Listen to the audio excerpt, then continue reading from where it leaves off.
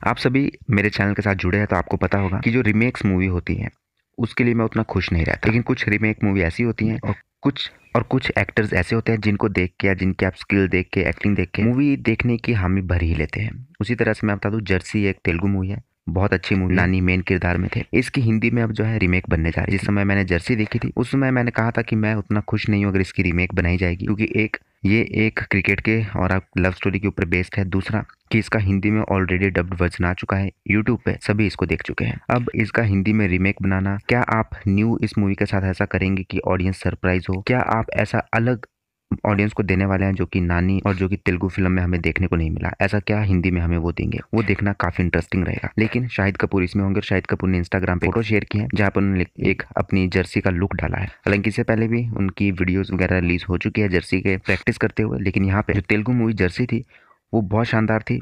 हालाँकि मुझे लगता है कि शाहिद भी कहीं ना कहीं किरदार को है वो अच्छे से निभाएँगे।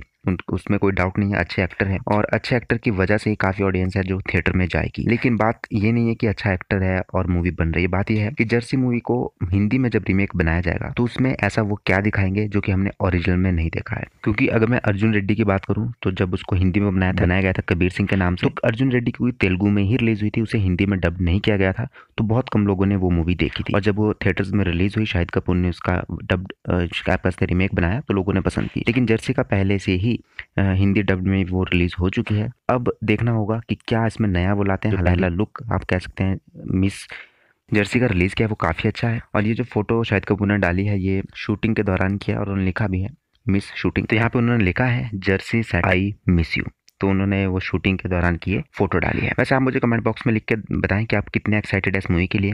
क्या ओरिजिनल जो आपने तेलुगु में देखी है, हिंदी डब में, उसके बाद भी आप इसको देखना चाहते हैं या नहीं? मिलते हैं नेक्स्ट वीडियो में, धन्यवाद।